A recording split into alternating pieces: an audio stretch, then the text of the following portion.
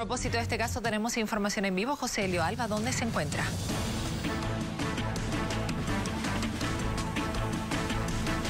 Y sobre este operativo realizado esta mañana nos amplía el coronel Oscar Méndez del kilómetro 6, doble vía La Guardia, la unidad policial número 6.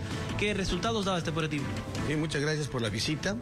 Precisamente informar a la sociedad, especialmente a los vecinos del sector de la Radial 17 y medio, Piraí, doble vía La Guardia, eh, se realizó en las horas de la madrugada un operativo eh, donde eh, se pudo arrestar a 40, 40 personas que habitaban estos canales de drenaje.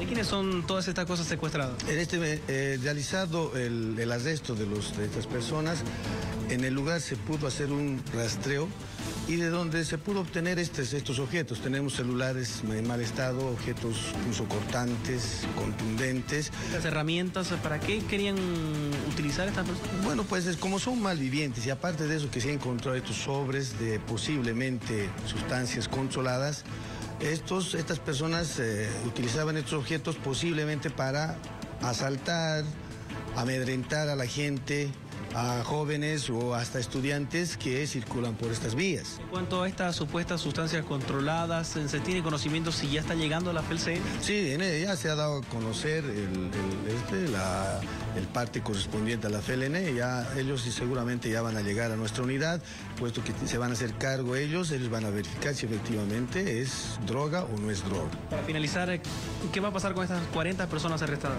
Bueno, dentro de estas 40 personas, 10 eran mujeres. De las 10 mujeres, 6 eran menores de edad, las mismas que han sido ya trasladadas a la, a la Defensoría de la Niñez de acá de la, de la Guardia.